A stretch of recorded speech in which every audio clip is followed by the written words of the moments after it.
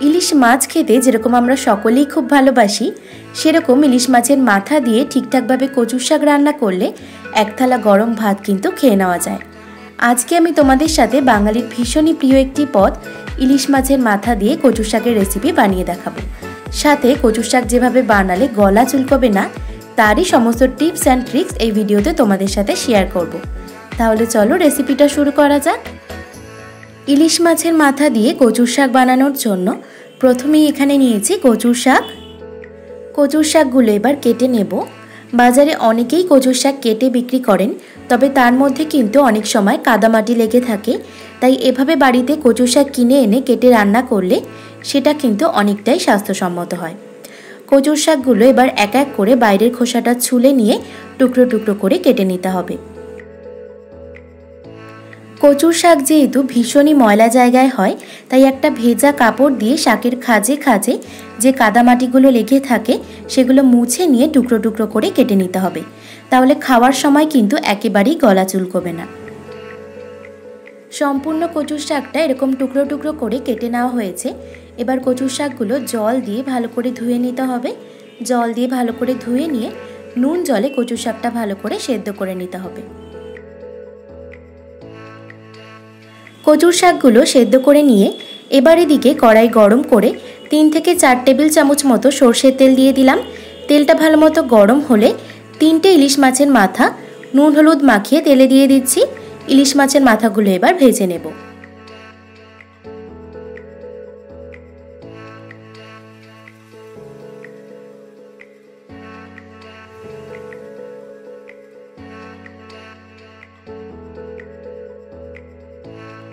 মাছের মাথাগুলো ভাজা হয়ে গেছে, এবার এগুলো তুলে নিচ্ছি। মাথাগুলো তুলে নিয়ে তেলটা একটু কমিয়ে নিয়েছি। এবার এতে প্রথমেই ফোড়ন দিয়ে দিচ্ছি হাফ চা চামচ পাঁচ ফোড়ন আর একটা গোটা শুকনো লঙ্কা ফাটিয়ে ফোড়ন দিয়ে দিলাম। ফোড়নটা হওয়া অবধি কিছুক্ষণ নাড়াচাড়া করব। ফোড়নটা হয়ে গেলে এবার সেদ্ধ করে রাখা কচুর শাকটা দিয়ে দিলাম। কচুর শাকটা দিয়ে এবার স্বাদ মতো এক টেবিল চামচ নুন দিয়ে দিচ্ছি। এক চা চামচ হলুদ গুঁড়ো দিয়ে দিচ্ছি। কাঁচা লঙ্কা বাটা দিয়ে দিচ্ছি তিন টেবিল চামচ।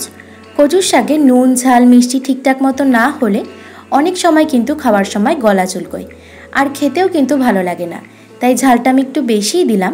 এবার নুন, হলুদ আর কাঁচা লঙ্কা বাটাটা কচুর শাকের সাথে ভালো করে মিশিয়ে নেব। মিশিয়ে নিয়ে করণীয় কিন্তু আর তেমন কিছুই নেই। এবার হাই ফ্লেমে কচুর শাকের জলটা টেনে যাওয়া অবধি অপেক্ষা করব।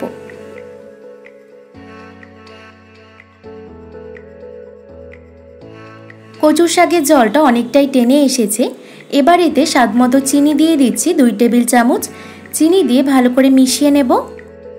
চিনি দিয়ে ভালো করে মিশিয়ে নিয়ে এই সময় একটু চেখে দেখতে হবে যে নুন, ঝাল, মিষ্টিটা ঠিকমতো হয়েছে কি না আমার এখানে মিষ্টিটা একটু কম হয়েছে বলে আরও এক টেবিল চামচ মতো চিনি দিয়ে দিলাম। চিনি দিয়ে আবার ভালো করে মিশিয়ে নেব। আর খাওয়ার পর যদি গলা ধরে, তাহলে সামান্য তেঁতুল গুলে তার কাতটা দিয়ে ভালো করে মিশিয়ে নিতে পারো। কিংবা লেবুর রস দিয়ে ভালো করে মিশিয়ে নিতে পারো। তাহলে কিন্তু খাওয়ার সময় গলা ধরবে না। এবার চিনিটা ভালো করে মিশিয়ে নিয়ে ভেজে রাখা মাছের মাথাগুলো এর মধ্যে দিয়ে দিলাম। মাছের মাথাগুলো দিয়ে ভেঙে ভালো করে মিশিয়ে নেব। মাছের মাথাগুলো ভেঙে কচুর শাকের সাথে মিশিয়ে নিয়ে কিছুক্ষণের জন্য হতে দেওয়ার পর কচুর শাকটা কিন্তু এখন কড়াই থেকে একটা ডইর আকারে উঠে আসছে।